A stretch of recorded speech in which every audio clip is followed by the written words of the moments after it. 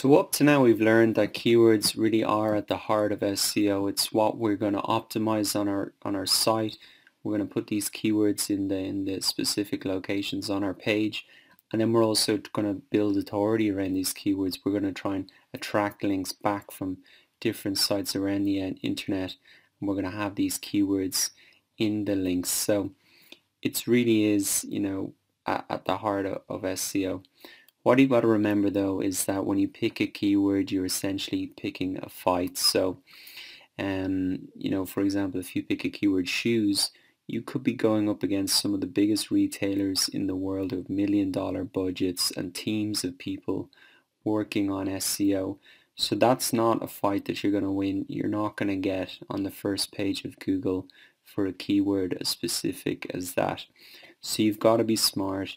You've got to have a strategy and that's really what keyword research is about. It's it's going out and looking for things that your competitors have overlooked and, and finding little gems that have good volume but are not that competitive and that's really the name of the game. So if I've said that you're not going to be able to rank and get to the first page for a specific term like shoes, what are you going to be able to get to the first page of Google for? Um, so to help explain that, I'm going to talk about three types of keywords and um, two of these types of keywords are the ones we're really going to be focusing on. So first type of keyword is the head keyword and as we said, this is a specific one-word phrase, huge amount of search volume for that and competition. Um, but usually the conversion rate is, is pretty low. Um, the reason is because uh, if somebody types in something like shoes into Google, it's not clear whether they're if they want men's shoes, women's shoes, kids shoes, brown shoes, black shoes.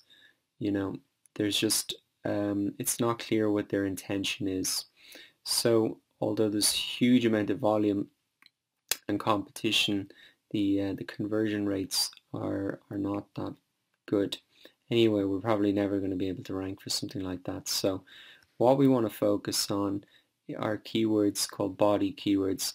And in the graph, this is, you know, the body part of the graph. Usually these are two to three word phrases, something like men's shoes, and um, not as much search volume, but um, a lower amount of competition and probably a higher probability of conversion because um, it's more specific men's shoes. It's more clear what their intention is, and um, if that that keyword's on your page, then more higher chance that they're going to convert.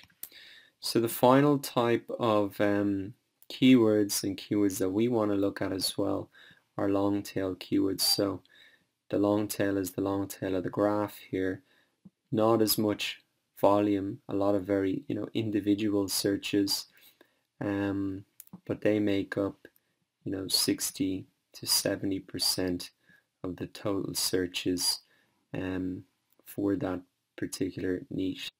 So what we want to do is target the less competitive body and long tail keywords and we can do that either as a single term or we can try and get a portfolio of keywords. So you might be able to rank number one for five or ten different keywords. And the volume individually could be small, but as a whole, that could even outweigh the search volume for the most competitive terms. So those are really the, the strategies that we're going after in terms of our whole SEO strategy and the keywords that we want to look for in our keyword research.